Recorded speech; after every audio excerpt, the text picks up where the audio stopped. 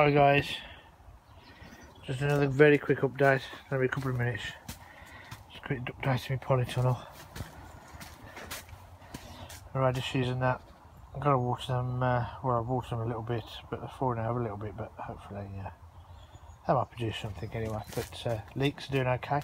One of the sets that I put in, the ones I grew from seeds, I've started shooting up again.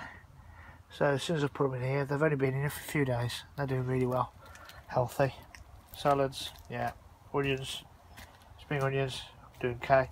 All these that I've sown in here, you can see some life already. Uh, more butternut squash. There's the others down there. These are the onions that were onion sets that I put outside about a month or so ago. Just haven't really uh, established with those roots.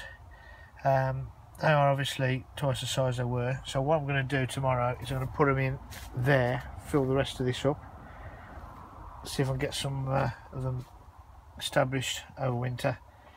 Peas are coming up, which I'm only going to use obviously for pea tops or whatever. Oh, I've got to slow down as well because I've been told to slow the camera work down. So this is coriander seeds that are coming through onion sets are definitely firing. So they're going out tomorrow probably. They look a bit dry at the back end so I'll put a bit of water in later. Uh, garlic is definitely uh, firing because it's pushing itself out so those can definitely go in.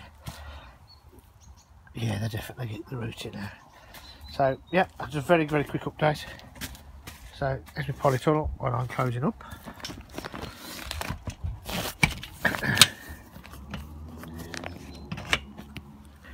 Nice tight fin, I know that much. Just be careful these don't rip anymore. Uh, but I've been pulling up my butternut squashes here, as I said. Doing a bit of weeding. That lot's got to go. Gonna weed all that tomorrow. Uh, it's still growing, so I'm leaving these. These where the onions were. There's still some more onion sets to, to pull up. They've still been weed, all weeded. These I'm going to leave in that one. So that's that done tidied all this up. We did that a bit with the top end of that. This where the button squash were. Done all that, right my buddy. Scissors, cutting them all down. There they all are. That's looking a bit tidy again. Got to weed, weed and weed and get all these. I'm going to have to build another box. I'm going to have to get some uh, pallets, make a temporary box up there or something. Shift all this stuff because I've got loads. The Daleks are full basically.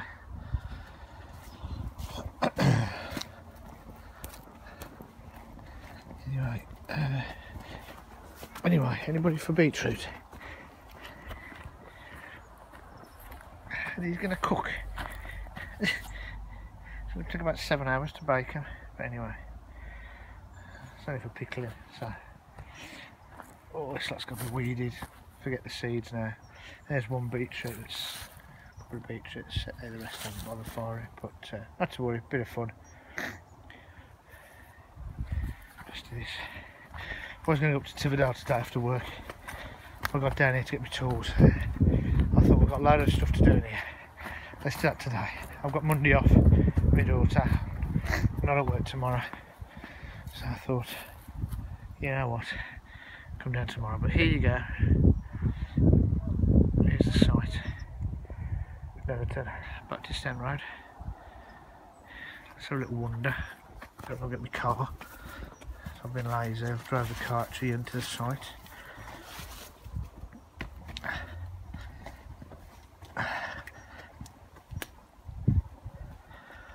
Here you go.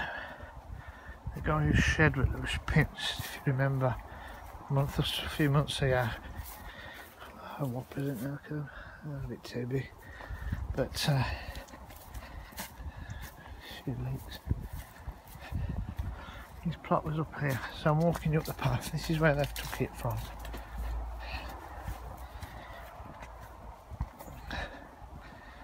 Took it where those white chairs are from there in one at the gate over there. Yeah, right. We reckon they've walked down here. It's in a waiting van to which somebody's let them on the plot to put in. But that's only my theory. A few of the guys' theories as well, but it's done, it's dusted, let it go.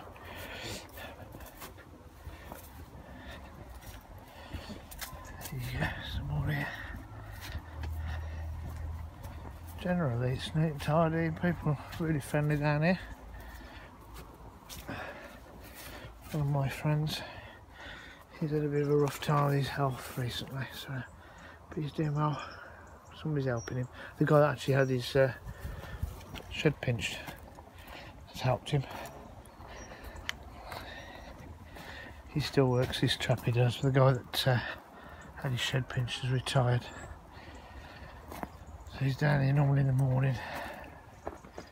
But I think he's knocked him about a bit having the shed pinched.